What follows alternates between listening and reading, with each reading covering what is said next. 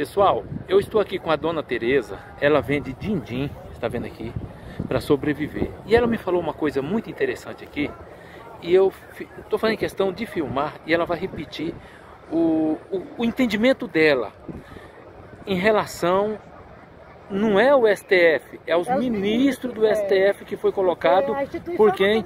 Ver, pode, né? tirar a máscara, pode, pode tirar a máscara. O que tem a ver é o, o pessoal que está lá, né? É que esse ex-petista mesmo falou, eu vi o vídeo do ex-petista falando que eles foram colocados lá justamente para isso, para trabalhar para a organização criminosa do Lula. E a gente tem visto né, o que eles têm feito, que eles têm feito, perseguido muito o povo do Bolsonaro, o pessoal da direita, perseguido muito o Bolsonaro. Então, a gente não tem mais, eu mesmo eu já não tenho mais dúvida que realmente é isso mesmo, que eles foram colocados para trabalhar para o Lula. Você vê, tirou o Lula, o Lula roubou tanto o nosso país, né? Fez tanta miséria no nosso país, destruiu nossas famílias, destruiu tudo. E eles soltaram ele, dizendo que ele, que ele é inocente, ele não é inocente, ele é ladrão, é um ladrão. E eles tiraram ele da cadeia para poder colocar ele de volta aí. E o povo não quer. E eu acho o seguinte, que o povo não é obrigado a suportar um ladrão governando o país, porque quem paga é o povo. O salário, além do povo pagar, eles ainda roubam.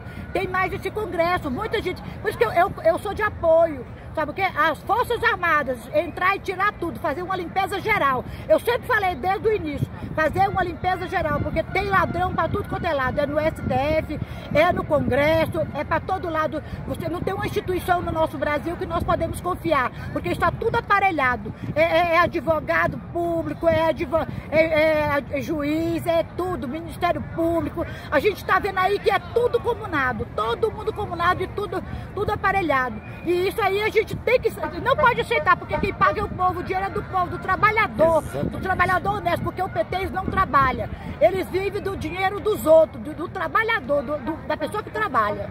E a senhora tem quantos anos? Eu tenho 67 anos, eu completei ontem, 67 anos. Meus parabéns. Feliz, eu queria muito que. 67 que anos? O Bolsonaro fizesse isso, a limpeza do nosso país. Porque eu, eu creio que a hora que tirar, que o maior câncer do nosso país é esse STF. A hora que ele tirar isso aí, eu tenho certeza que muita coisa vai mudar nesse país, muito mesmo. Ó pessoal, 67 anos, catando latinha e vendendo seu din-din para sobreviver, para sobreviver. E um monte de petista aí querendo mamar nas vacas do governo. Roubar, roubando e querendo o dinheiro do trabalhador, porque eles não gostam de trabalhar. Você vê que quando eles vinham aí, você vê o Lula dava aí, era, era a todo direito, é bebida, é tudo pago pelo, pelo dinheiro do povo, que não era dinheiro do Lula. Exatamente. O Lula não tinha dinheiro para pagar. E como, e como o Lula mesmo hoje está milionário com o dinheiro do povo, os filhos dele estão tá milionários com o dinheiro do povo. Ladrão, é ladrão. Não adianta esse deve dizer que é inocente, é porque eles foram colocados lá é, é, tudo é da organização criminosa do Lula e foi colocado lá para trabalhar para eles. Não para o povo, não para o país.